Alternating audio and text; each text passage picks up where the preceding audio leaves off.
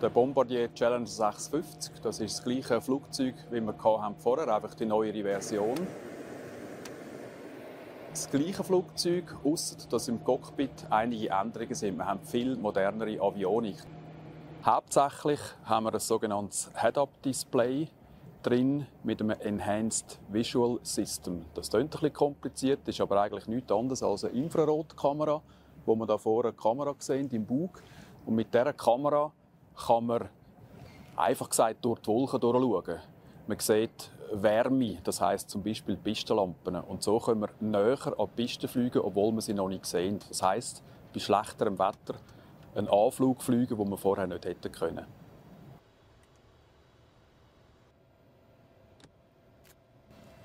Das Head-Up-Display macht das Fliegen einfacher.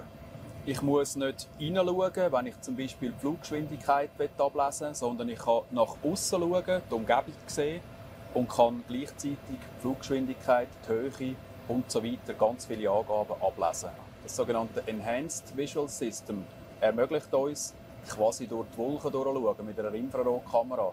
Alles, was warm strahlt vom Boden her, sehen wir.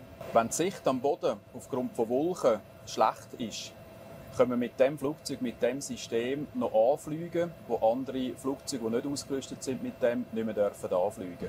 Und das Head-Up-Display in Kombination mit der Infrarotkamera, das ist ein großer Vorteil für uns, wenn wir einen Patienten repatrieren und das Wetter schlecht ist an der Zieldestination zum Beispiel.